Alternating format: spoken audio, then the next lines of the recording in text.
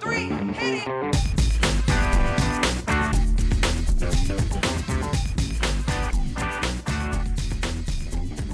Good morning, good afternoon, good evening, and welcome to today's Caffeine for the Soul.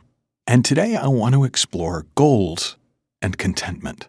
And in order to do that, I want to share a little bit of my story. I was a very goal driven young adult. I did lots of seminars that told me that goals were the secret to success, that there was a study in 1957 at Yale University that showed that the 3% of the class with written goals outperformed over a 20 year period the rest of the entire graduating 1957 class from Yale who didn't have clearly written goals. Now, it turns out, just as a, a, caveat, that study never happened. That study is bandied about in so much of the success literature, but there's literally no evidence that it ever happened. Somebody made that up and it became a thing. But like I had read that and I was like, yeah, okay, I want to be in that 3%. I'm going to clearly write my goals. And, and I remember one of my first big goals when I was working as an actor was I wanted to work in, in 1994. I was going to work 365 days of the year as an actor. And I did it. Now, I did it by saying yes to a couple of jobs that everything in me wanted to say no to, but my goal said yes. And and it wound up being one of the most miserable years of my life.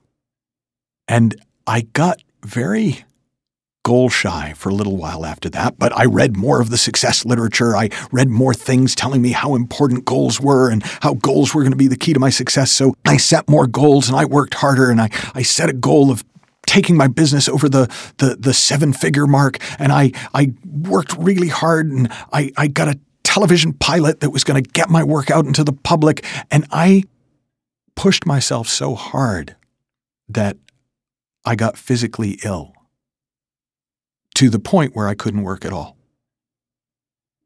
And I kind of went the other way. Like it was sufficiently dramatic that I thought, all right, goals may be the answer to something, but they're not working for me. And so I kind of decided I was better off not dreaming.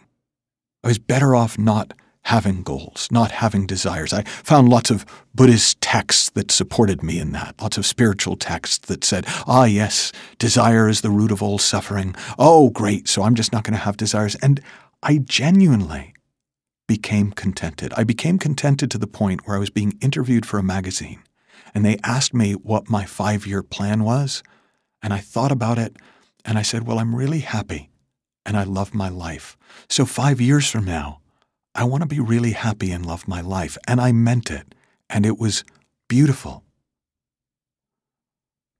But at a certain point, I realized that that unwillingness to feel desire was shrinking my world.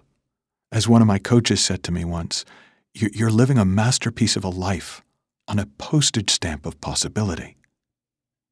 And so I really wrestled with this because I was so afraid of going back to being that goal driven, at all costs person. And I didn't really know how to allow myself to want things without killing the contentment that had become so precious to me, that had become such a, a part of how I lived my life. And, and I, I had a, a teacher, a professor of comparative Buddhism, and I, I asked him about it. Because it seemed to me, well, desire can't be the root of all suffering if it's natural. Because it seems to me that there's a certain kind of simple desire. Not, I want in order to. Not, I want because it makes me look cool. Not, I want to make myself happy. But just, that'd be cool. Wouldn't it be cool if, oh my goodness, can you imagine? that I couldn't imagine how that desire could be the root of all suffering. And he said, Well, that translation, desire is the root of all suffering, even though it's the most popular one, isn't the most accurate one. He said, A more accurate translation is misunderstood desire is the root of all suffering, or craving is the root of all suffering. And I really heard something in that because I got it. when that simple desire, wouldn't it be cool, became, and then if I have that, I'll have this, and then if I have that, I'll have this, and if I don't have that, I'm going to lose all this. Right? When desire turns into craving, when our sense of well being and contentment gets wrapped up in desire, it contaminates it. It turns it from a simple, natural expression of the expansive nature of spirit, of life itself and it becomes this dark thing that brings out all our fear and insecurity and greed. And so I open myself back up to dreaming. Now, I kind of consider myself an amateur at contented dreaming. I, am I'm, I'm, I'm kind of new to it. It's still very fragile to me. I still find myself going almost without noticing from contented dreaming, from contented desire to that old kind of craving and must have. But because I've experienced it now, because I have a real sense of what it is to simply want something for the pleasure of it, not with any need attached, not with any need for it to happen for me to continue to be content. I found that there's something really beautiful in that sweet spot between contentment and desire. And as I was reflecting on that recently, I remembered one of the first conversations I had with a, with a very successful client. And at the time, he was the most successful client I, I worked with. I wrote about it in my book, You Can Have What You Want. And I asked him, as we were sitting by the sea, looking out this amazing view that he had at his home, I, I said, How do you do goals? And he said to me, Well, once or twice a year, I'll sit here, I'll go out to a, one of our favorite restaurants. I'll sometimes do it on my own, I'll sometimes do it with my wife. And we'll dream. And we'll just think about all the things that might be fun to have or create in the year ahead. And there's usually a few of them that I kind of go, yeah, yeah, I'd like to make my life, at least part of my life, about that this year. And he said, and then, you know, the next time I sit down, I, I probably won't look at it again for about six months.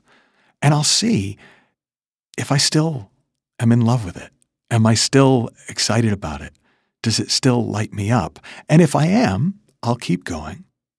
But if it started to feel like work, I'll, I'll either change it or get rid of it. If it's starting to feel, oh God, this has become a burden, I'll just let it go. And if a new goal comes along, if a new dream comes along, I'll just switch over to that. And I, I actually heard in my head, I wanted to stop him and interrupt him and say, no, no, no, goals don't work that way.